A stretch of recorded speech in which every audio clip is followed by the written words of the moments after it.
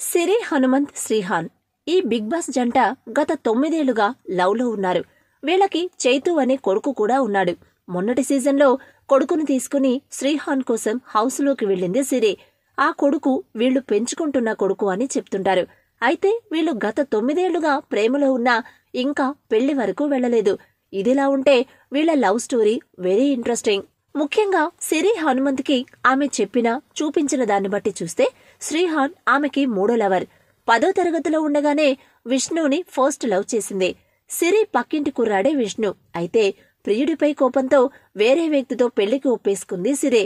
తీరా అతనితో తెల్లవారితే ఎంగేజ్మెంట్ అనగా మళ్ళీ విష్ణు వెళ్ళి సిరితో మాట్లాడడం బ్రతిమాలడంతో తెల్లవారితే ఎంగేజ్మెంట్ పెట్టుకుని ప్రియుడు విష్ణుతో లేచిపోయింది సిరి.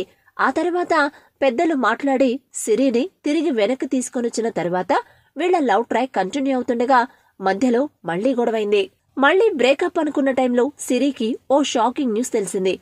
విష్ణు చనిపోయాడనే వార్త తెలుస్తుంది. విష్ణు యాక్సిడెంట్లో చనిపోవడంతో సిరి ఫస్ట్ లవ్ స్టోరీ ఇలా విషాదమైంది. ఆ తర్వాత శ్రీహాన్తో ప్రేమలో పడింది సిరి. అయితే బిగ్ బాస్కి వచ్చిన తర్వాత శ్రీహాన్ని సైడేసే దీప్తి సునయన ప్రియుడు షణ్ముఖ్తో లవ్లో పడింది. వీళ్ళిద్దరూ బిగ్ బాస్ హౌస్లో హగ్లు ముద్దులు రొమాన్స్ అప్పో మామూలు గబ్బు చేయలేదు.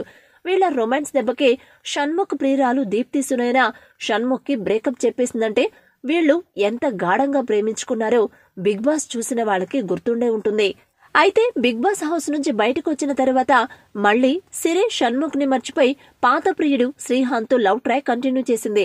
మొన్నటి సీజన్లో శ్రీహాన్ గెలుపు కోసం చాలా కష్టపడింది సిరి. అయితే ఒకసారి బ్రేకప్ కావడం ఆ తర్వాత మళ్ళీ వేరే వ్యక్తితో ప్రేమలో పడడం ఆ తర్వాత మళ్ళీ పాత ప్రియుడితో కొత్తగా లవ్ ట్రాక్ ఎక్కడం ఇవన్నీ చూస్తే సిరి ప్రేమ కథలు మామూలు ట్విస్ట్ లేవు.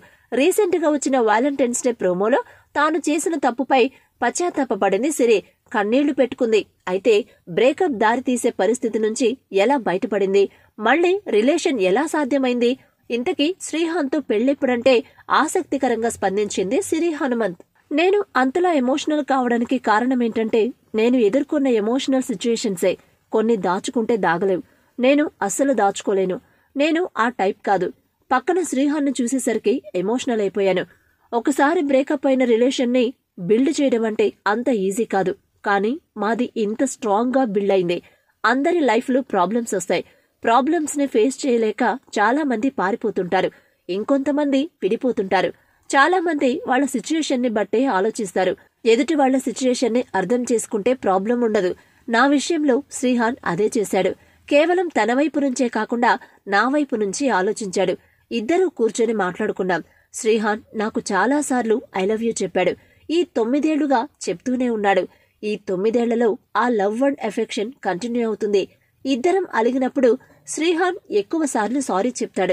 గతంలో మాకెదురైన బ్యాడ్ ఎక్స్పీరియన్స్ మళ్ళీ ఎదురు కాకుండా ఉండడానికి జాగ్రత్తలు తీసుకుంటున్నాం. పెళ్ళి ఎప్పుడనేది ఇంకా క్లారిటీ లేదు. కళ్యాణం వచ్చినా కక్కొచ్చినా ఆగదని అంటారు. మా పెళ్ళి కూడా అంతే అన్నది సిరి. ఈమె బిగ్ బాస్ హౌస్లో ఉండగా బయటకు వెళ్ళిన తరువాత శ్రీహాన్తో పెళ్ళి అని చెప్పింది. ఆ తర్వాత ఈమె వెళ్ళి రావడమే కాదు శ్రీహాన్ కూడా బిగ్ బాస్కి వెళ్ళొచ్చేశాడు. కానీ ఇప్పుడు పెళ్ళి గురించి అడిగితే మాత్రం చూద్దాం అన్నట్టుగానే సమాధానమిస్తుంది సిరి హనుమంత్.